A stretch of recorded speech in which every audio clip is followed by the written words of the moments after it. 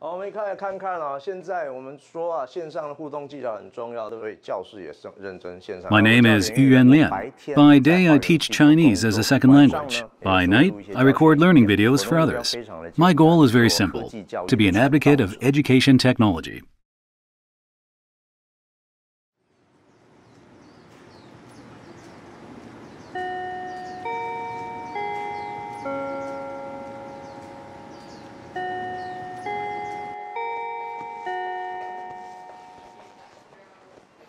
I've been teaching at a university and at the Mandarin Learning Center for more than 10 years.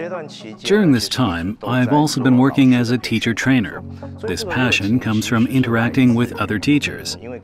We know that teachers engage with a lot of students. If a teacher is good at his job, it's definitely a big plus. Because then, the inspired students will influence even more people in the future. In the past, teachers and students were always in the same classroom. From whether experience or general understanding, many believe the best interaction happens when everyone is in the same room. But has it ever crossed your mind that people in the classroom may be doing other things? With the technology tools we have now, we can achieve better interactions. What do I mean? For example, there are a bunch of IRS tools now. I can ask students to scan a QR code with their mobile phones and give real-time feedback. Everyone can answer the teacher's questions together, share their ideas and opinions, and have better interactions.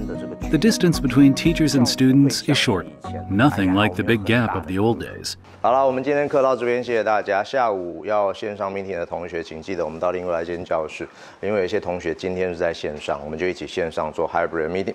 先这样吧，拜拜。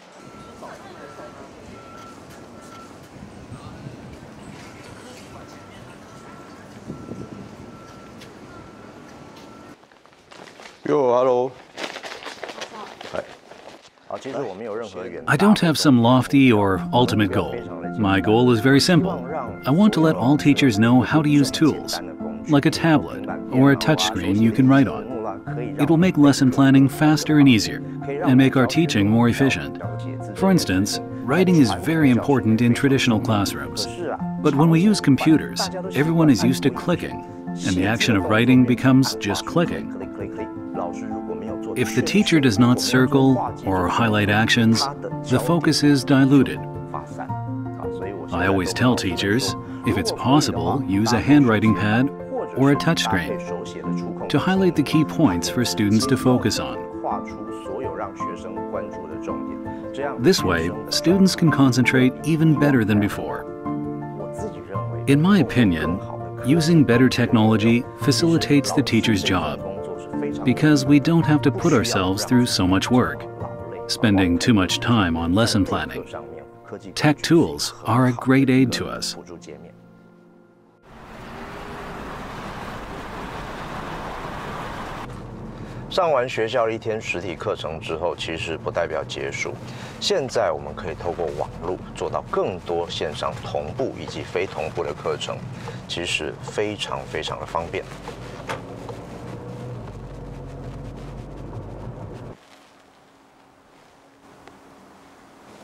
好，大家可以看我这两边哦，这两边就是一个是以前，好，这边是以前。 When I started teaching online more than 10 years ago, I began to think, how could we expand the scope of traditional classrooms?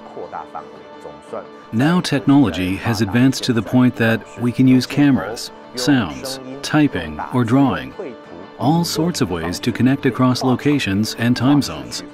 It creates more opportunities for people willing to learn to connect directly with the teacher they want to learn from, thanks to the internet. To me, education is really about the progress.